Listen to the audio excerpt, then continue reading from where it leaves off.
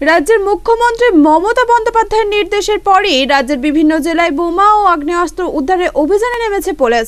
পূর্ব বর্ধমান জেলার বিভিন্ন প্রান্ত থেকে বোমা ও আগ্নেয়াস্ত্র উদ্ধারের ঘটনা ঘটেছে ইতিমধ্যেই।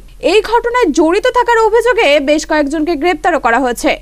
এই জেলায় বোমা উদ্ধারের কথা বলতে গিয়ে জেলা তৃণমূল কংগ্রেসের মুখপাত্র প্রসেনজিৎ দাস জানান, যাদের কাছ থেকে বোমা উদ্ধার হচ্ছে, তারা সকলেই দুষ্কৃতে। দুষ্কৃতীরা কোনো রাজনৈতিক দলের কর্মী হতে পারে না বলেই তার দাবি। তিনি আরও জানান, মুখ্যমন্ত্রী মমতা বন্দ্যোপাধ্যায় প্রশাসনকে কড়া নির্দেশ দিয়েছেন। অবিলম্বে দোষীদের গ্রেপ্তার করে শাস্তি দিতে হবে। তার অভিযোগের আগেও বিভিন্ন জায়গা থেকে বোমা উদ্ধারের ঘটনা ঘটেছে। দেখুন, ব্যাপারটা তৃণমূলের আমলে বলে নয়।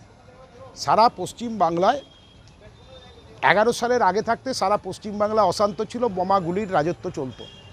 তৃণমূল আসার পর আইন শৃঙ্খলার অনেক উন্নতি হয়েছে এবং বম উদ্ধার দুষ্কৃতীরা কোথায় বম রাখবে কোন রাজনৈতিক দল পশ্চিমবাংলা দখল করতে বম রাখবে তো পুলিশের কাছে খবর পেলে পুলিশ সেটা উদ্ধার করবে এটা তো স্বাভাবিক ব্যাপার। তো এটা নিয়ে তো কোনো কথা থাকে না। এখন তো বাজারে তো বিজেপি নেই তাহলে কারা রাখছে দেখুন এইসব? দাঁড়ান আমি মনে করি যাদের কাছ থেকে বম পাওয়া যাচ্ছে তারা দুষ্কৃতী।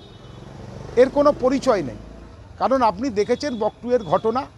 সেখানে আমরা আমাদের দল দাবি করেছে পশ্চিমবাংলারকে সারা ভারতবর্ষের চোখে ছোট করে দেখানোর জন্য একটা ষড়যন্ত্র করা হয়েছে, তার দাবি জানানো হয়েছে।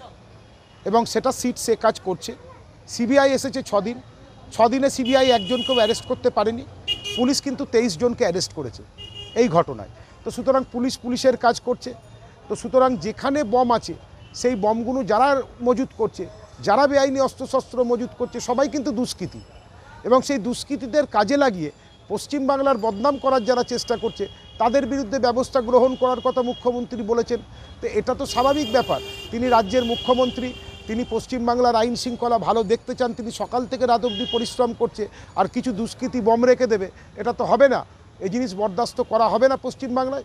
পুলিশ পুলিশের কাজ করবে, পুলিশ বোমা উদ্ধার করবে, যারা বোমা রেখেছে তাদের শাস্তি দেবে, এটাই স্বাভাবিক কথা। তো স্বাভাবিকভাবে যে এইরকমভাবে যে এত ছিল, মানুষ একটা আতঙ্কের মধ্যে ছিল, এখন যেটা পুলিশ সক্রিয়ভাবে যে বোমগুলো উদ্ধার করছে, তাতে মানুষ অনেকটাই অনেকটাই মানুষ স্বস্তি পাচ্ছে যে এই সমস্ত উদ্ধার হয়ে গেলে পরে তারা আতঙ্ক থেকে আস্তে আস্তে তারা কী পাবে।